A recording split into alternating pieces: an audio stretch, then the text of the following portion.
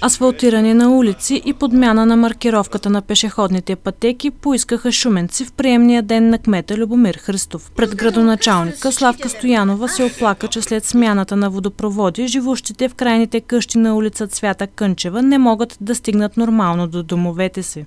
Стана така, че ние вече две години газим в кълта с бутуша ходим. Славка Стоянова обясни, че със съседите сами изравнили с чакъл пътното платно, но заради строежа на жилищни сгради в района над детска градина Штурче, тежките камиони отново направили участъка от улицата непроходим. Пред кмета Шуменката настоя да бъде подновена маркировката на пешеходните пътеки в района на парк Студентски.